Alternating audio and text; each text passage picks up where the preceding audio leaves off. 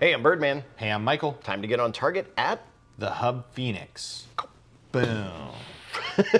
Nuke in your face. There we go. Um, so, we've been talking about 1911s, 2011s, which are 1911s, just double stacks. Um, the best brands that we sell here at the Hub, we've talked about Cabot, Alchemy, Nighthawk, um, Nighthawk with agency, um, combos. Um, we've talked about Staccato, Ed Brown. Well, now we are on to the Wilson Combat. Wilson Combat, um, known first and foremost for their magazines, in my opinion. Um, oh, okay. Yes. Um, majority of the people get into the 1911 game, no Colt, Springfield, SIG, etc., kind of the more basic brands, um, and um, look for magazines for them. And they go over to the wall, and some guy goes, Yeah, the best mags that we sell are the Wilson Combat uh, 1911 mags. Um, I agree with that. Um, Ed Brown, Wilson Combat. Um, to me are some of the best standard 1911 mags that you're going to spend under $50 for um, for most of them. So 30 something odd dollars for this magazine. Amazing, amazing mags. As you can see, no matter what way I push on that follower, even if it's back, it always goes down.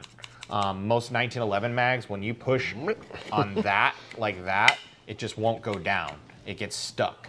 Um, and with Wilson's, they just work. Um, so we really, really liked their magazines. Well, cool, great magazines. Um, then we started selling some of their barrels and accessories and stuff like that. Well, then eventually we started looking at their guns, um, you know, and guns are just absolutely gorgeous. Um, Wilson always sticks to a certain theme. So if you look at all of their guns, they all have this starburst kind of, you know, like spread out on the grips. Um, their their P320 modules, same thing, have that spread out on the grips. Um, that's what I like about them is they kind of keep to one look and they don't really deviate from it. Now, some people may say, "Oh, that's not cool. They never change." Well, you know what? It's gorgeous. It works, and when you see it, you know it's a Wilson. So I like that. Their AR-15s, very easily recognizable that they're Wilson Combats. They've got that grip with that star on it that just really grab, you know, it just, it's easily recognizable. So to me, the way that they pull the brands together, it works. You know it's a Wilson. The other thing that you know is it's going to be a good gun. Um, they are not known for cheap guns and they're not known for cheap quality. They are high end 1911 makers, high end AR makers, high end P320 makers that really know what they're doing. So it's again not a gun that you're just going to pick up, shoot one time, and go, man, I don't know why I spent that money on it. Yeah. Um, when you shoot that gun, or when your friend shoots that gun, they're gonna look at you, do my, what my, my dad says uh, is the gun guy face, which is like, oh whoa, did you feel that trigger? You know what I mean? Because it's like we'll go around shot show, we're looking at all these guns, and me and the guys just like pick up a gun and we like feel the trigger and we go, oh dude, you, you gotta feel this, you gotta feel this. And my dad, he loves making fun of it because it's just like, he's like every gun you feel you like. I'm like, uh huh. Yeah, pretty much. Uh-huh. So, but with the Wilsons, you start looking at it again, and we've looked at some really high-end guns. Wilson, you do not have as much customiz- customization. Um, custom. How do you say that? I just call it personalization because then I Okay. don't have to say that word. yeah. So you can't personalize the Wilson Combat as much as you can some of the other guns. So you can't come to me and say, "Hey, Michael, I don't want that checkering, and I do want this one, and I don't want this, and I want these sights." Wilson sells the guns that they make. So this model is the model that they make. It's the way they make it. I can order you this gun. I can order you the full size model. I can order you the commander model. Um, but it is what it is. So it's more find the model that you like in their lineup and snag it. And then from there, you can do what you like to it. Um, you can always have someone else add serrations and stuff like that. But if you look at it really, though, so we're looking at side angle here. We're going to look at the top. So if we look at the top, and I'm going to kind of scoot it towards I'll you you talk it. so you can see right there they have um, checkering on the top. So they they gave you long, um, streamlined cuts that actually decrease on glare from the sun. Nice. So there's a reason for that. It's it's the guns are shiny, and when you're outside and it's shiny, it's hard to see down that uh, with your sights. To add that cut actually changes that and gives you less glare. Um, and you can see that by the fact that he's shining a light directly on it right now, and you can easily see those cuts, and they don't shine back at you.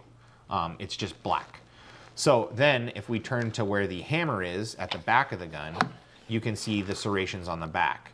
So they follow them from the top down. So from the sights down, you've got serrations all on the back here. And again, that cuts down on glare of the back of the gun.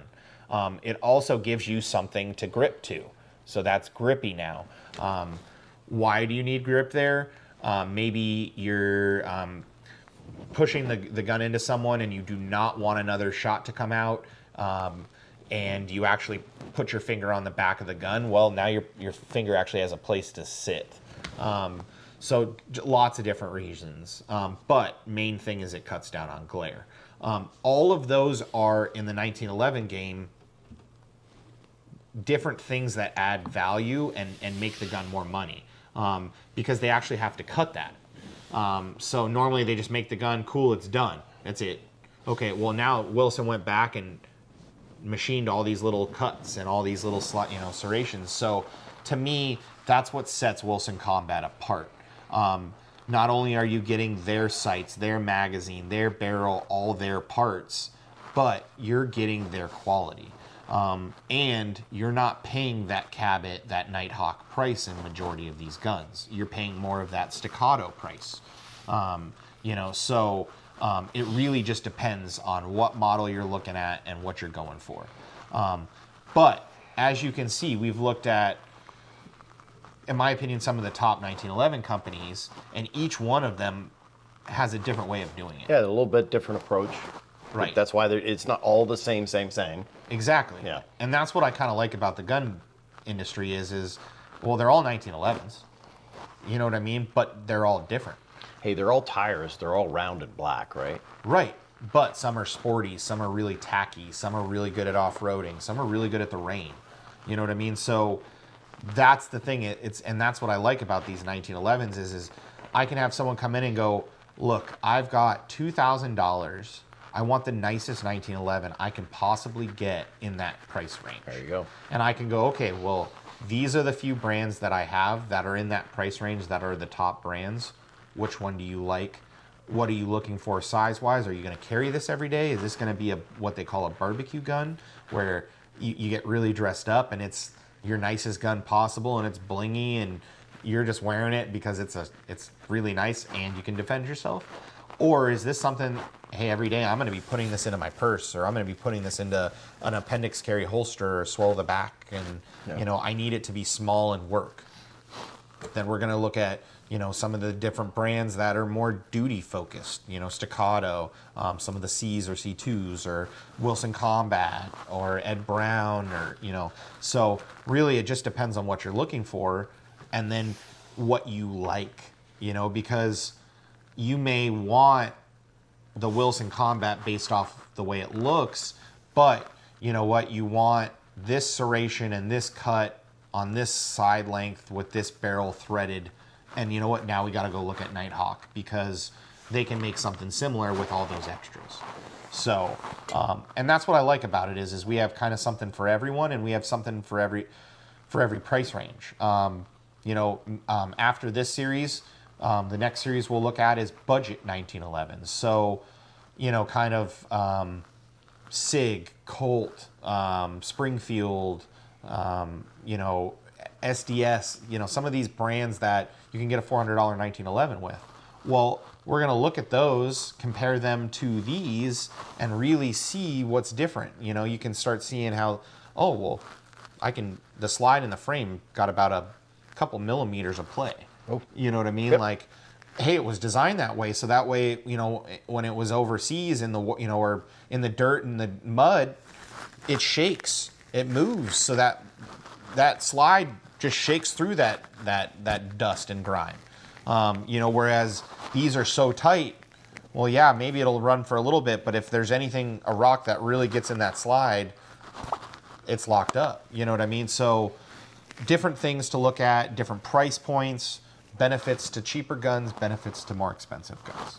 So I think when you look at more expensive guns, you're getting something that you can hand down through your family, and that really isn't going to lose a lot of value. Um, and it's something that everyone can be proud of. Now, don't get me wrong. My grandpa gives me a cheap, you know, two dollar gun. I'm gonna keep it. It means something to me. But you know, it's cool when not only are you handed something that is cool, but also very expensive and held its value. Yeah. Um, so um, we'll look at that in the future. But make sure you check out Wilson Combat. Make sure you check out Staccato, Ed Brown, Cabot, um, Alchemy. Um, I wish we had some Infinities here. We do Infinity. Uh, we actually are an Atlas dealer. Whole nother realm of um, kind of like the Staccato, but only more race gun themed. Um, so, but all great guns that are really high end that really match what you're looking for if you're looking for something over that you know fifteen two thousand dollar area. So anyway, I'm Michael. I'm Birdman. We'll see you next time.